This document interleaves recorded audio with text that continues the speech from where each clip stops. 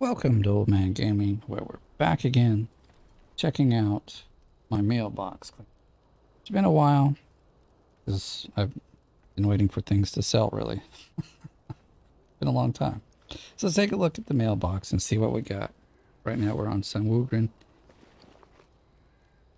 Okay, so here's this. This is awesome. I was, you know, I wanted to sell this just to see, because it was at a really good price. Uh, I actually had to list it about three times, but it did finally sell. Now I've got two more of these. I'm still kicking myself in the butt because I used to have about seven of them. Anyway, 310,000. That's a really good thing. You can see there's a few other things in here selling. Um, some of those fish things that I got. Some contracts. Oh, here's another thing that I sold and this these were things that I've picked up and been holding on to in my bank.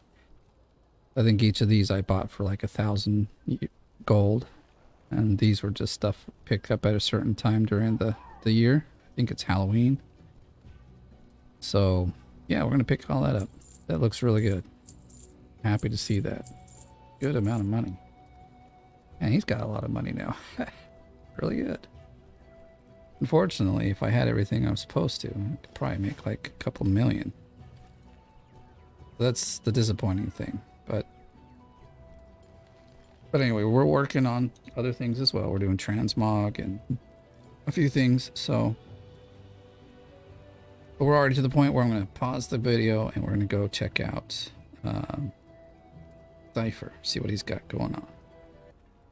Alright, here we are back with Cypher. Orgrimmar. Let's see what he's got going on. Okay, wow. Good stuff here. 265,000 gold. Uh, obviously it's for ingots. There's some... There's a few things that have sold as well. Like things that I was purchasing for upgrading the uh, blacksmithing. And you can see here, I still got things to do. But mostly it's still shadow ingots at this moment. Um, but a few things have sold, so that's good. That's really nice. 265,000 gold. Pick that up. Means we're getting, gaining back the uh, nearly half a million we spent looking to get transmog. Take a Have look here real quick. to trade needs to be at least two centuries old. Got lots of stuff here.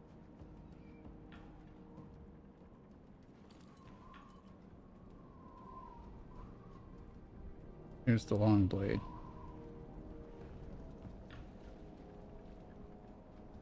If you find anything exotic, bring it to me. I think.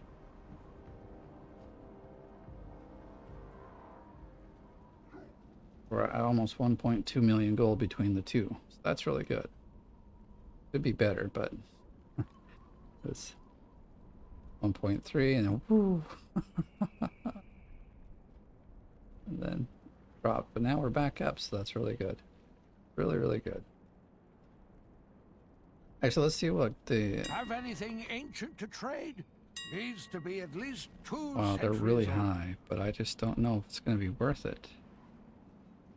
Because these things are like way pricey. Let's see. 77. Man, I wish I bought this stuff when it was. I just, I don't know.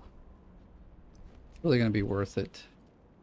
Because see, the thing is, I've I've reset it up to this price, and then they fall really fast. And so if you buy the ore at this price, man, it's just you'll be robbed. You won't be able to sell them really at that price. So I guess it's time. If you we're looking into other things. exotic, bring it to me. We've got so many.